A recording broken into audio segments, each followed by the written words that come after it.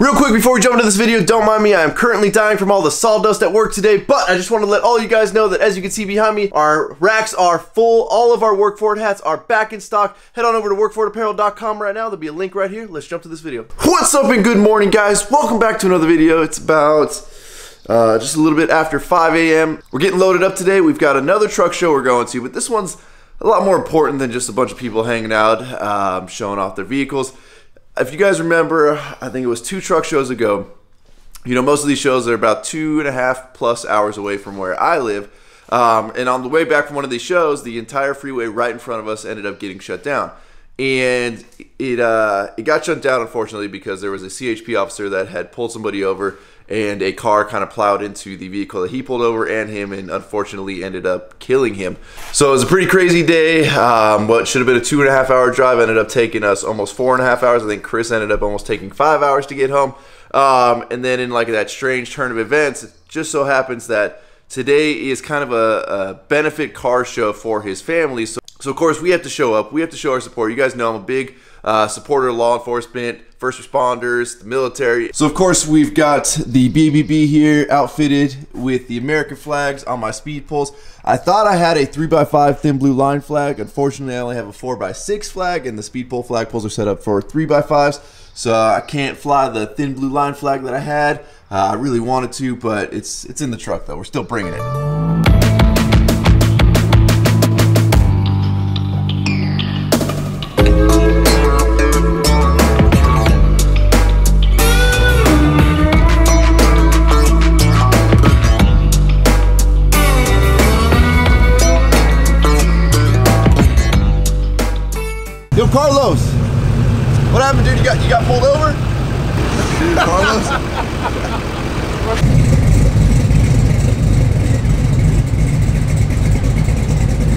Watch out, Eddie. We got some competition for you, buddy.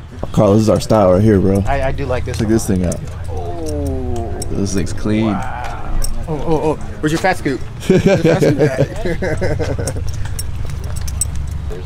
It's beautiful. Oh, Carlos, I see the I see the AccuAir, bro. He's got it too. Now we got Wheezy over here. Wheezy better watch out, bro. Ooh. Dude, look at that bed. Center and everything. Holy crap. Thriller, suicide doors. Yeah, that's not a cheap paint job. Cobain. Like the girl goes all around. I always wonder when I see vehicles like this, like the guy that owns it has to do airbrushing, right? I don't know, Like- man. Cause Oh, yeah. Or the amount of money you have to spend to That'd pay somebody to do the airbrushing on this thing is crazy. Oh what? Oh, hold on, it's not working. This is uh, this is a new take on car shows right here. This is a trip.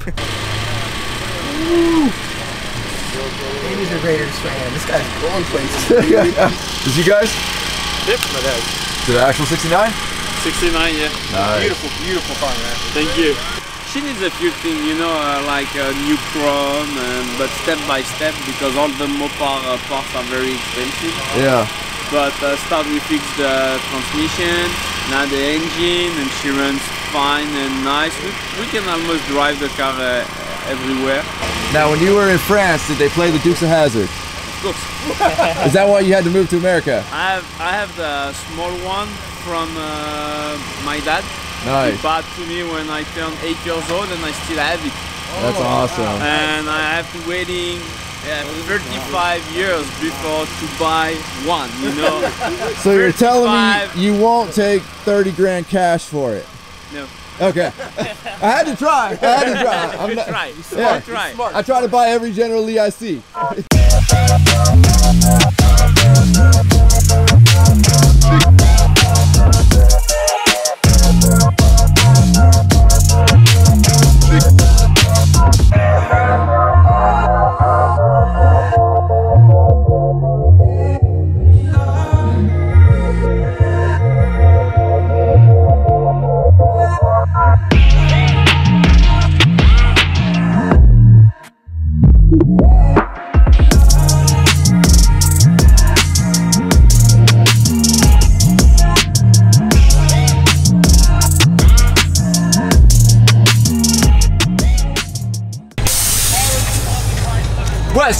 guy, bro. Don't be going over to the Mustang line. No, we traded. We You traded. traded? We traded. Where's the uh, Where's the airbag switch? Right here. Somewhere over here. Oh, watch out, watch out. This thing's too small for me.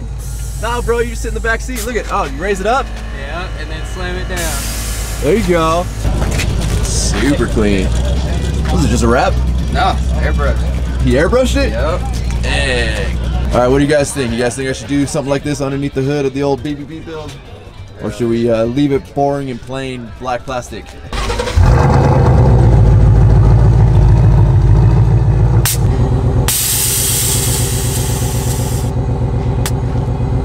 It's crazy the tolerances you guys work with. Like, Yeah, that's Can't even that's get a finger in there. Annoying, let me tell you. yeah, that's crazy.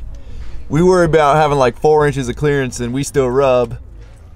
And you guys are pulling like a quarter inch at most. All right, everybody, we got Cody here. Cody, I, I couldn't take my eyes off this beautiful truck here, brother. Can you tell us a little bit about it? So uh, 68 F100. Um, it took pretty much three trucks to build one out of it. Uh, it was just sitting on a frame in a farm field. Picked it up and had an idea. I wanted to put the big tires and keep it low, and Nice. just started putting everything together and kind of piecing, puzzling, and it turned out like this. Luckily, I love it. I love it. Yeah. What engine you running? so it's got a FE390, uh, original motor that came in the truck. It's built, bored out. Uh, kept the AC in it. Uh, just put a bigger radiator, power steering. Um, yeah, it runs great. Runs cool in summer, and uh, it's an awesome cruiser, man. Got plenty of power. So I had, Love had to power those big tires, so I had to build Right, the motor. right. Yeah, so I got 35 BFGs on it. Um, Mickey Thompson rims that o- OMF built the B locks for it. It's got Fox shocks under it. Uh, geared right. It's just it's a perfect truck, man. Perfect summer truck. Whatever. Turn the window wipers on, heater on, whatever. That's what I love about it. I could tell by walking up to it that you kept all the comfort Yeah. to where, Oh. you know, I love these old Dude, trucks, but but you have to want to drive them. Oh, dude, yeah, and you know I didn't want to, and then I got stuck in the first rainstorm in it, and I turned on the window wipers heater, and, and then from there I drive it all the time now. So No, this thing is beautiful, yeah, man. yep. I love every detail you did on this thing. You did just enough new with just enough old. Yeah, yeah, dude. I the I had the re- I, the gas tank usually in the bed of these trucks or in the behind the seat, Right. and I relocate under the bed right here. So if you flip up that little cap right here, this is where fuel it up right here.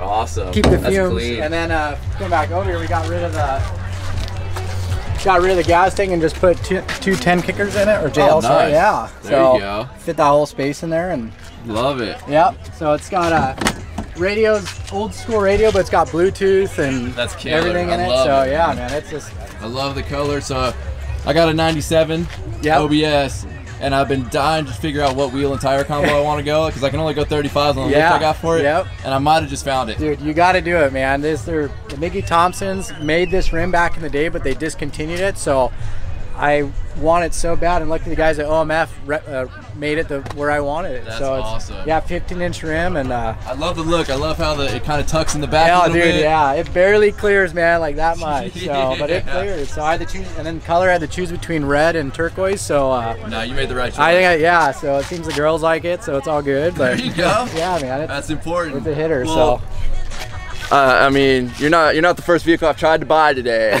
but would you sell it? Oh gosh, dang it, no, I wouldn't. That's the right answer. I've had a stupid number on this. The, when I got it done, I threw a high number. What I wanted, what I would get rid Right. Of it. Within two weeks, a guy offered me what that number was. And then he still so now I commit. bumped it up way more. so I'm like, no, I don't want to. I respect that mood. Uh, uh, listen, putting all the work into it, yeah. I wouldn't want to let it go. And one of a kind. I mean, people are trying the copying, which is cool. I'll help Yeah. anybody out, but it just seems nobody can figure it out. So. Tim, tell us a little bit about your car here, buddy. Well, it's a 1972 Plymouth Barracuda that I purchased in 2003 for $4,000. Wow. And it took me about seven years, and I don't even want to say how much because my wife's right there. Understood. Understood. But this is what it originally looked like. It was pretty rough. Awesome. Yeah, she's come a long ways, I'd say. An automatic originally, and I transferred to a four-speed.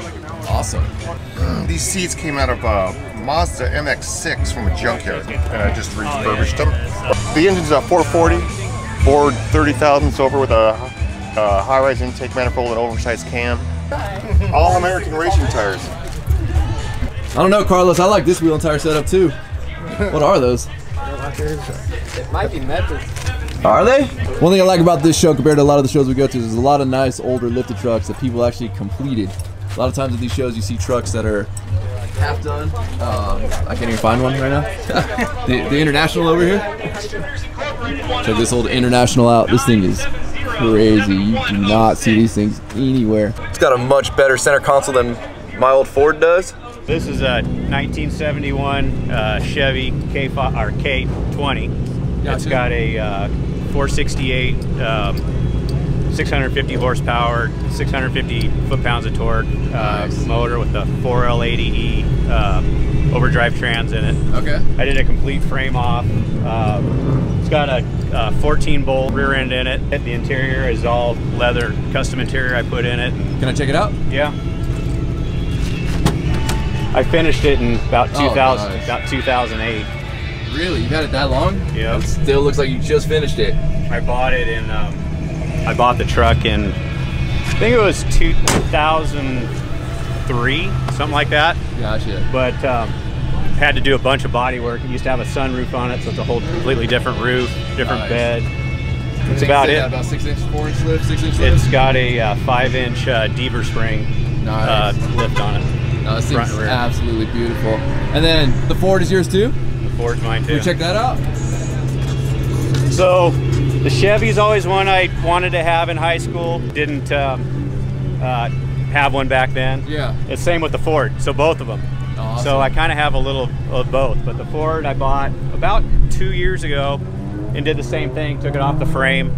That one I built almost completely all original. So if it was to roll off the showroom floor, that's what I wanted it to look like. These are two out of about uh, 20 of my cars. I have 20 No different way. cars. I have early Broncos.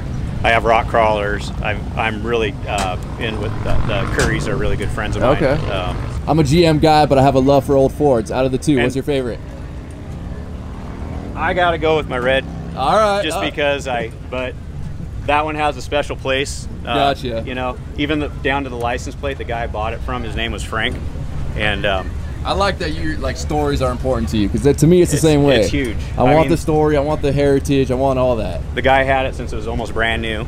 That's and awesome. when I bought it from him, he actually cried. He he had uh, I don't remember what you call it, but he couldn't feel his feet anymore, so he couldn't work the clutch. Oh, okay. And I just went down and I saw it. One of my big things with the YouTube channel is I try and promote blue collar work and I try and promote like just getting out there and obviously work for it on the grill of my truck. Like work for what Right. you want.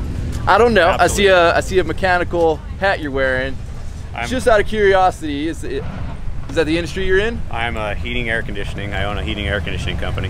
All right, and I'm gonna I'm gonna guess based on the amount of vehicles I've heard so far, it's worked out well for you. Worked out very well. My son Kyle, he uh, he wants to become a firefighter. He works for me three days a week, That's as well as doing the fire. uh, I love hearing that, So man. you don't have the hands-on like you do anymore. A lot of these kids, they don't understand it. Yep. They don't they don't know.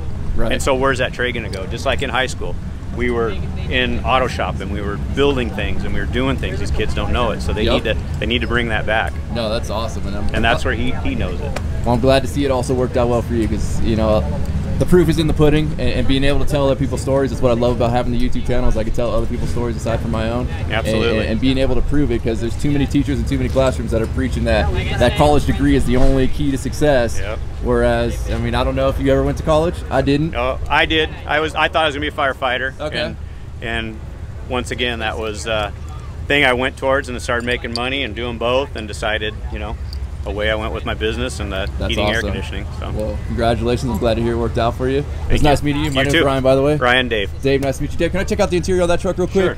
This has uh, actually has the original, not the original to the truck, but the original upholstery. So I found there's a place in Oregon that sells the original vinyl. So this is the original from 1971 Oh, vinyl that I found. So. I love it, man. I, I like the way you restore yourself too. I mean, I like both. Like in So this one's kind of my street rod version Right. of a truck. This is old school original.